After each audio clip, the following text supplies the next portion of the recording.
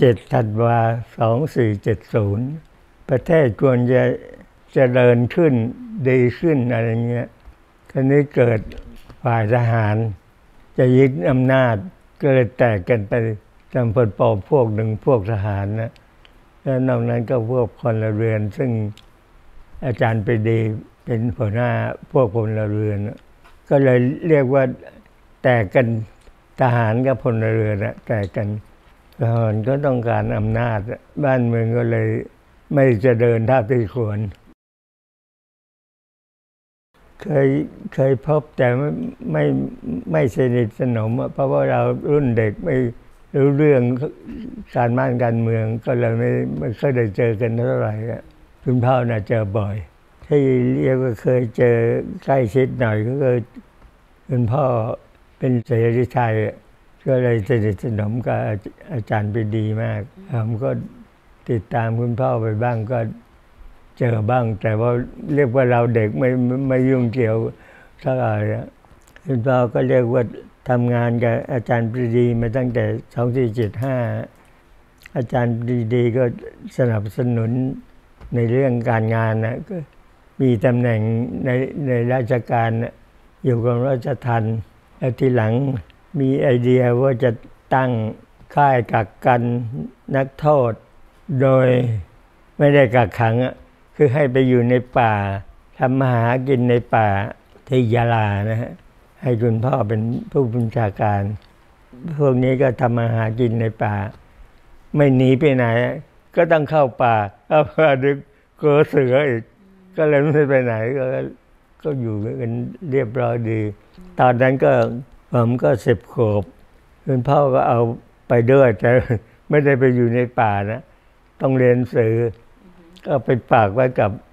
ข้าหลวงผู้ว่าสมัยนั้นเรียกว่าข้าหลวง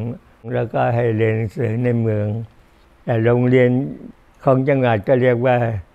แทบจะไม่มีอะไร มีหลังคา ประตูหน้าต่างไม่มีพื้นกับพื้นดิน ก็ตะรุปตะรุปทุกกลางเรียนไปป .4 นะ อันนี้คุณเขาก็เห็นว่าต่างจังหวัดแบบนั้นก็ไม่ได้ความรู้เลยส่งมาอยู่กับน้าที่สารแดง ให้ไปเข้าอาสามบอกเรียนป .4 แล้วอาจารย์เขาบอกต้องมาเรียนป .4 ใหม่ก็ไม่ไม่เชื่อไปมือต่างจังหวัดนะแล้วก็ให้เรียนภาษาฝรั่งเศสพอญี่ปุ่นบอกเมืองไทย ตอนนั้นยืนพ่ออยู่กรุงเทพแล้วนะก็บอก เราต้องต่อสู้ คือญี่ปุ่นเป็นผู้บุกรุกเราจะต้องต่อสู้ แต่ว่าจะทำยังไงก็รอดูก่อน คืนคืนวันที่แปดเนี่ยพวกลูกศิษย์อาจารย์ไปดีหลายคน ก็ไปหาอาจารย์ปรึกษากันว่าจะทำไงต่อไป อาจารย์ก็บอกก็เราต้องต่อสู้แต่ว่าจะทำยังไงนี่เราดูก่อน อย่างแรกเราควรจะไปตั้งรัฐบาลผลัดถิ่น แต่ไปไหนไม่ได้เลย ญี่ปุ่นควบคุมการคมนาคมหมดนะระหว่างนั้นก็เรียกว่าต้องหาทางออกจากประเทศไทยให้ได้อะคือไปติดต่อกับฝ่ายสัมพันธมิตรสองปีสืบจากสถานทูตที่เป็นกลางนะ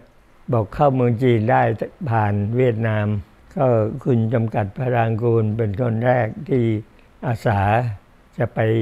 ติดต่อกับฝ่ายสัมพันธมิตร ไปถึงก็ส่งวิทยุภาษาไทยเป็นรหัสนะบอกคุณจำกัดถึงแล้ว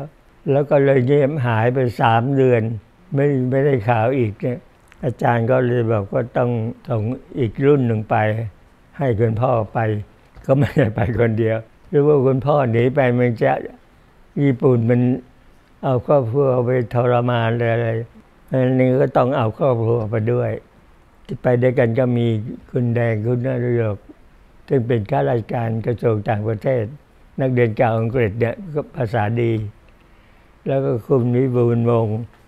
ซึ่งเป็นเลขาของโรงงานยาสูบนั่นนักเรียนเก่าฝรั่งเศส แล้วก็เอาน้องชายคุณพ่อ คนนั้นรู้ภาษาจีนจากครอบครัวคุณแม่พี่สาวกับผมบอกว่าจะไปติดต่อเรื่องยาสูบที่ญี่ปุ่น แต่จะไปลงเรือที่ เวียดนามที่อินโดจีนเนี่ยทำไม่รู้ว่าชี้ก็เดินทางไปเรื่อยจนแต่พอใกล้เมืองจีนที่จะไปลงเรือไปไหน หาทางข้ามไปเมืองจีนเอาข้ามแม่ค้าเขาข้ามไปข้ามมาเป็นเป็นประจำอะเองว่าญี่ปุ่นไม่ได้ไปเอาเรื่องนะคือค้าขายกัน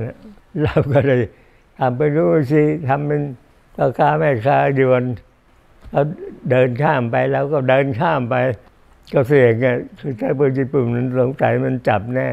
มันไม่สงสัยก็เลยรอดไปได้พอข้ามเมืองจีนได้ก็ส่งตัวเลขไปยุ่งยิง บอกเรามาจากเมืองไทยจะมาติดต่อกับฝ่ายสถาบันธมิตรว่าเมืองไทยมีการต่อตู้ญี่ปุ่นอยู่ทางเมืองจีนเขาก็ส่งเจ้าหน้าที่มารับ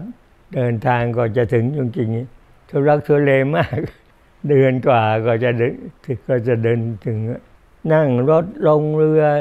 นั่งเกี่ยวขันหามทั้งเดินเท้าก็เรียกว่าการสะดวกไม่มีถึงจริงก็แจ้งให้เขาทราบว่าเมืองไทยมี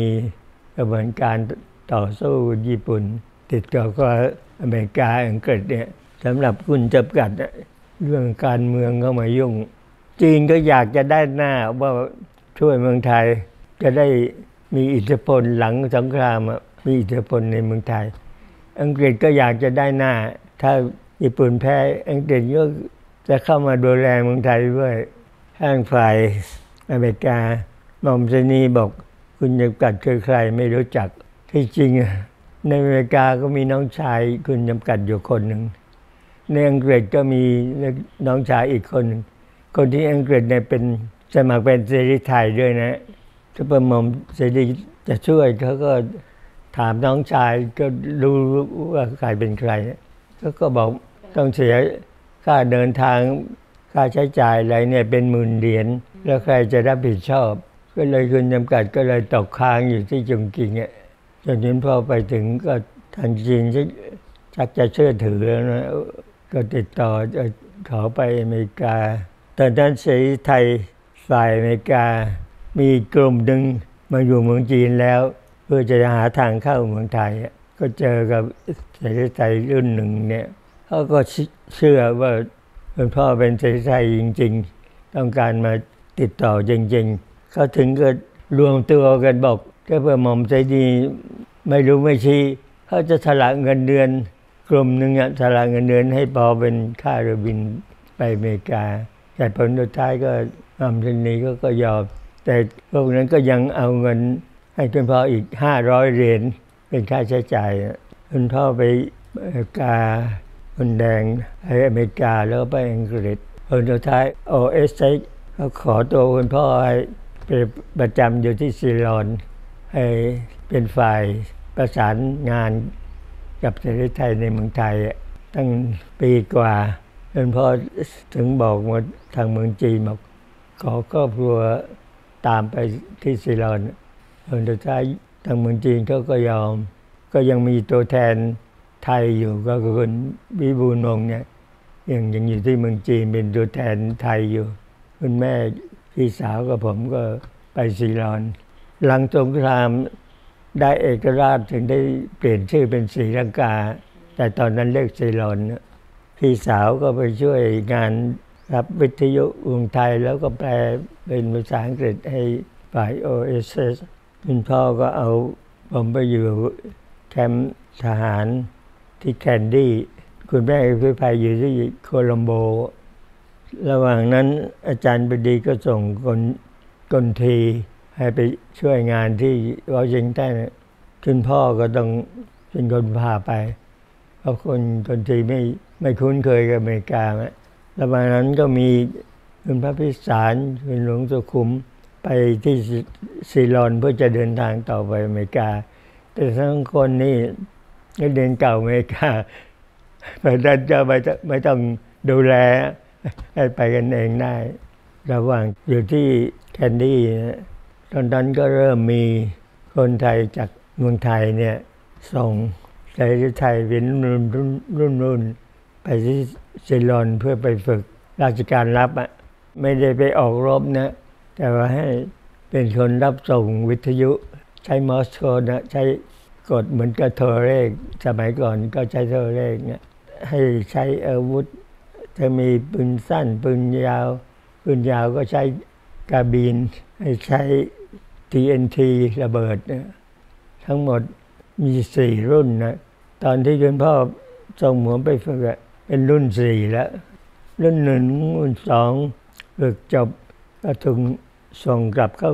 ทำงานในเมืองไทยสองรุ่นนะแยกย้ายเงินไปต่ามจังหวัดต่างๆที่แล้วแต่ทางเมืองไทยต้องการ รุ่นสามรุ่นสี่ก็กำลังรอฟังฝึกจบแล้วนะเราฟังว่าจะให้ไปที่ไหน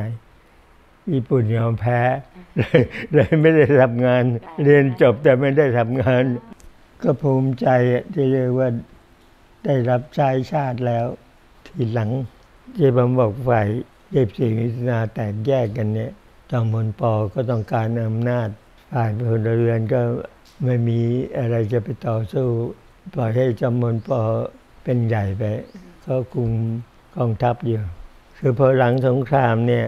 เมืองไทยก็กลัวว่าฝ่ายสมันธมิตรคงจับจอมพลปอกับพรรคพวก ขึ้นศาลทหาร อย่างนั้นคงรอดยากอะต้องถูกกักขังอะอาจารย์ปรีดีก็เลยรีบออกกฎหมาย